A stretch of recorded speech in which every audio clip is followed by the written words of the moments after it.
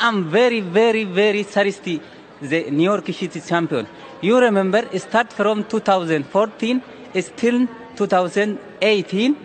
I participate. I number two, number three, and one time I DNF. This year I decided to champion. I decided to champion because I did hard training, uh, everything control. Uh, I save my power, and I see I saw athletes, especially uh, my partner uh, training athlete Shura Kitata. I amazing him. I control him, and I now as I champion today, and uh, the weather is very very beautiful. Today is my day. I am very very happy, and thank you, thank you, New York City Marathon and people of who participate here. Ahmet.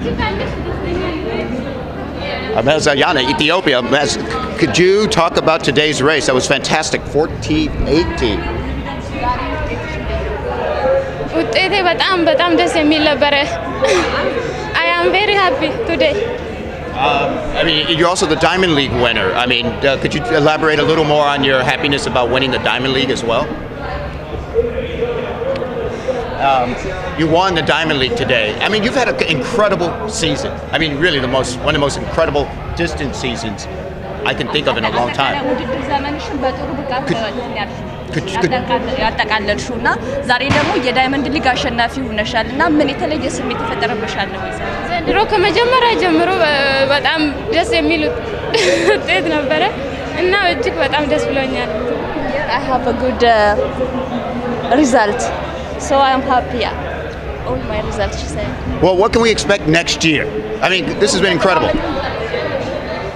እግዚአብሔር ጤና ከሰጠኝ እንደዚሁ ጥሩ ውጤት ለማምጣት I will stay with my health like this I will get a good result for next year also Well, congratulations on a world record, a meet record, and, and all kinds of just in- incredible performances this year. ታንክ ዩ ሶ ማች All right, how did you feel? It's good, uh, very hot and uh, good, good, yes. And do you feel strong for the final?